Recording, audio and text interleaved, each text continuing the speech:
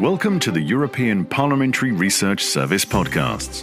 In this podcast, we'll talk about the impacts that artificial intelligence applications may have in our workplaces and how policymakers and legislators in the EU will need to ensure that it works for us instead of against us.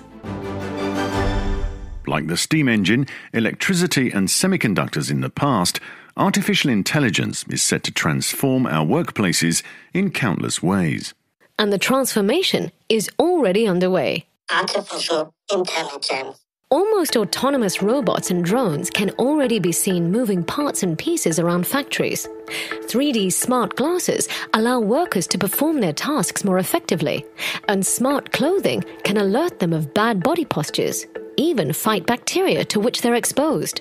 The integration of AI tools and applications means that some machines have acquired new responsibilities, even autonomy, and are being expected to display some degree of human intelligence. I understand. Even make decisions about workers themselves. The difference with previous waves of mechanization is that this time AI is replacing mental tasks rather than physical ones. It's helping doctors improve diagnosis and find the best treatments or architects make the best design choices, and some companies already rely on algorithms and AI to distribute tasks, monitor workers, and evaluate their performance. But, notwithstanding the potential to help workers and increase performance, health, and safety at work, the integration of AI into the workplace could also create new problems. It could spur new forms of management control or gain access to more privacy sensitive data. So, the challenge for businesses HR departments and public authorities is to reflect on how to reap the full benefits of AI while protecting workers from undesired effects. Companies will need to carefully consider how AI may best serve their needs, taking into account workers' concerns and employment rights. Moreover, the best tools won't come cheap and will require investments in material and personnel, as well as adjustments to new working methods. So, before embracing AI, better be sure about the potential gains. Another challenge is that the functionality of many forms of AI at work remains uncertain. When AI distributes tasks, monitors workers, and evaluates their performance, how do we know it's coming to the right conclusions, that it makes the best decisions? It's easy for AI to collect data, but much trickier to interpret it, especially without human interference.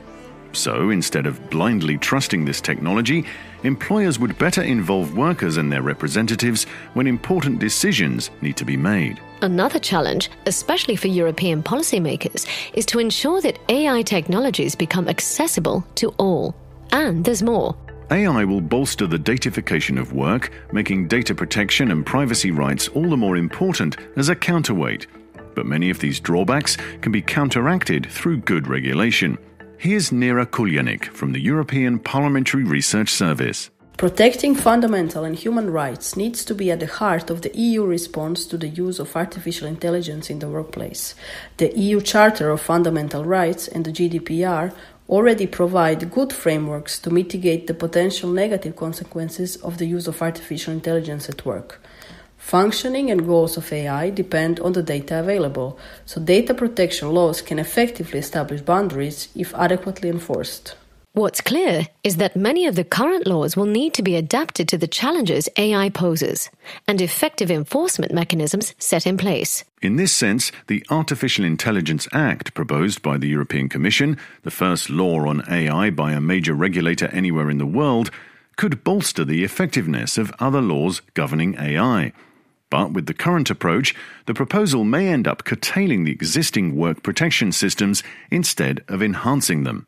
Furthermore, if the aim is to regulate AI at work effectively, EU policymakers should keep the many other existing laws in mind and see how the new AI Act could complement them rather than override them. Because in the end, the way we approach AI, not only in the workplace but everywhere, will define the world in which we live in the future. And we want a world where people and businesses can enjoy the benefits of AI while feeling safe and protected. Want to know more? Check out the STOA study on the EPRS website or in our app. This is a European Parliamentary Research Service podcast. Thanks for listening.